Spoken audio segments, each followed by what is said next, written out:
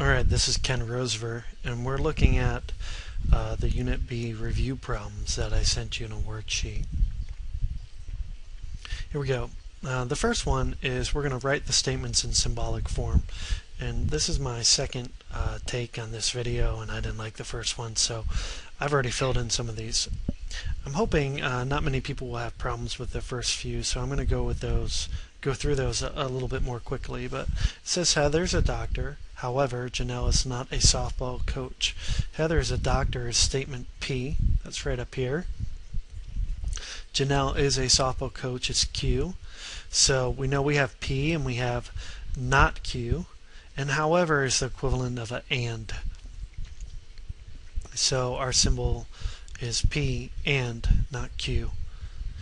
The next one says if Chris is not a teacher and Janelle is a softball coach, comma, the comma indicates to us that both of these together, this conjunction is the antecedent of the conditional. So those go in parentheses. Chris is not means we have not R and Q. Heather is not a doctor is not P. So if this, then not P. Number three says Janelle is a softball coach if and only if Heather is a doctor. Well, Heather was a um, doctor was P. Janelle is a softball coach is Q, and if and only is is a biconditional, which is a double um, a double arrow. Okay. The next ones say um, use P, Q, and R above to write each statement in symbolic words. So we, we're still dealing with these here. Maybe I can move this up a little. So we still have Heather's a doctor, Janelle's a softball coach, and Chris is a teacher. When I see a negation in front of a parenthesis, I translate that as it is false that.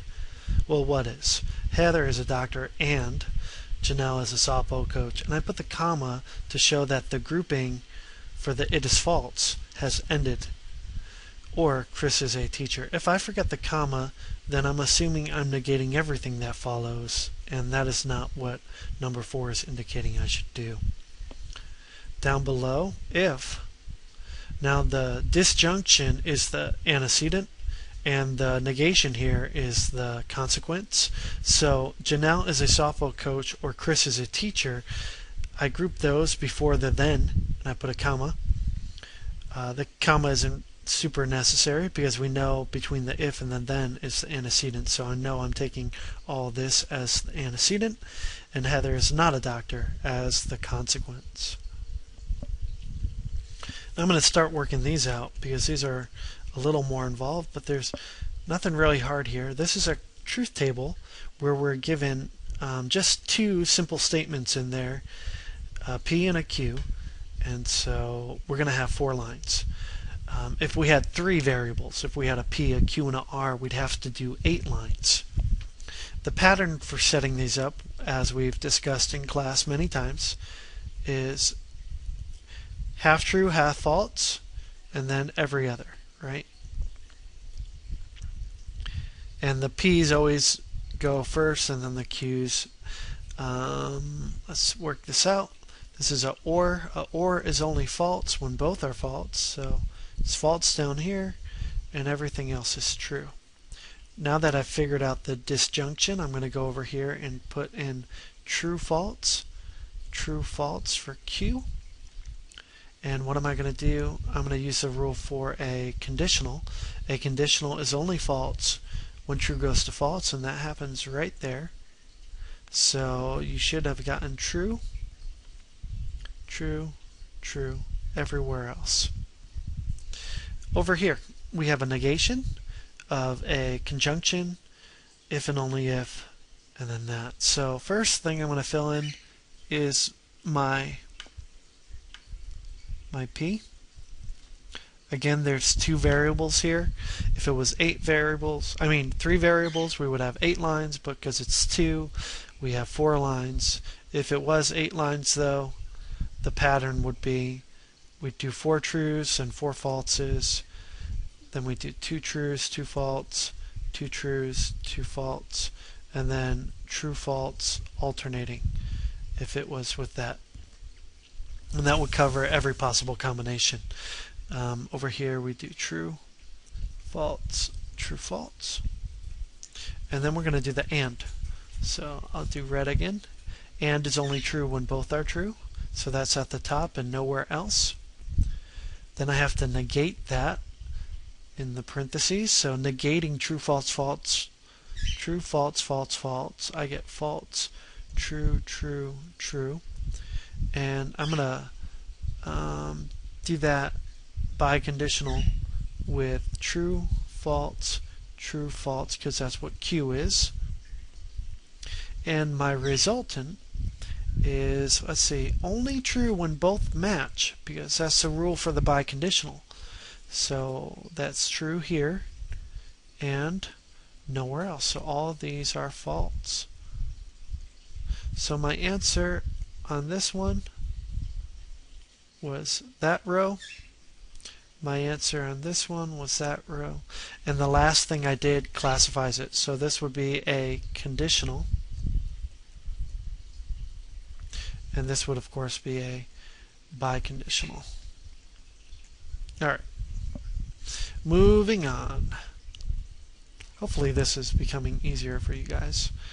Um, we're trying to find the truth value of the statement. Well, we have to go and look at the simple statements here, and we have to determine ourselves whether these statements are true or false. So, um, the Earth is our home planet. That's true. And the oceans are made of water. I'd say that's true. True and true is true. A true, a um, conjunction is only true when both are true. Next one. Uh, people write with pens. That's our first statement. What would you say? People write with pens. I'd call that true. Or uh, children color with crayons. Right, children color with crayons. I'd say that's true. If and only if the Super Bowl is played in August. The Super Bowl is played in August. Uh, nope, it's played in, um, I think, late January or early February now. Um, so I'm going to say that that is false. So your false. Now which do I do first? The, the or, the disjunction, or the biconditional? And the answer, because of order of operations, says I do the disjunction first. And true or true is true. Biconditional to false is false because a biconditional only true when both agree. Alright. This is another evaluative exercise. Hopefully you tried these before you checked your work against mine. So let's see what you got and if it's what I what I'm about to get. So let's see, this is a P and Q and R. Now I don't have to make a truth table for these, I just have to plug in the values. So P is true, they're telling me and Q is false. What's R? True. I'm going to negate that. So next row. True and false is false. Uh, conjunction is only true when both are. But I got to negate that. So that's going to be true. True or true is true. Okay, next one. Q was false or true, not true, not true. All right.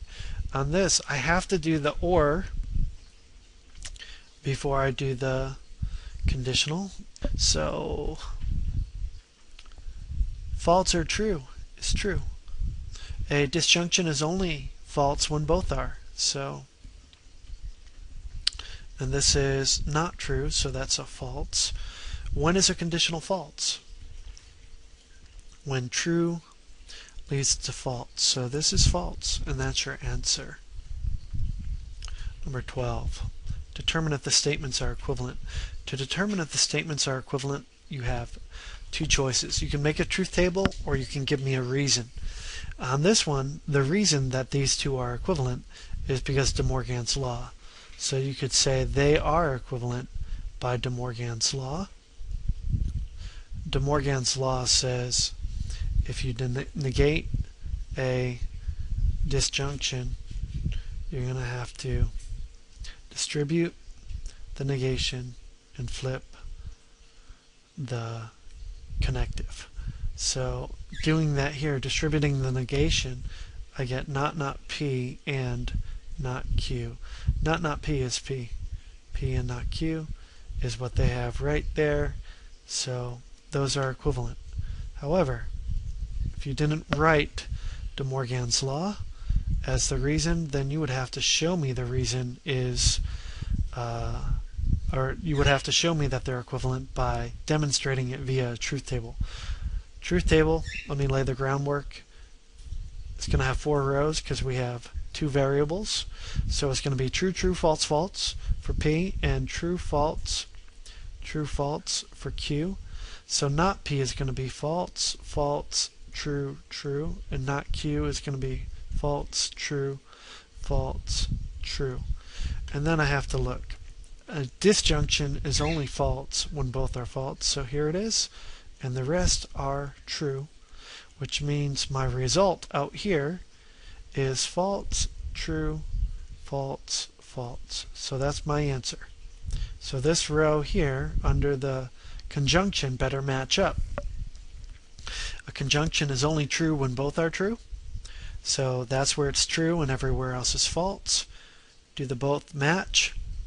Yeah, they do. False, true, false, false, false, true, false, false. These are equivalent, and I have proved it by demonstrating it with the truth table. So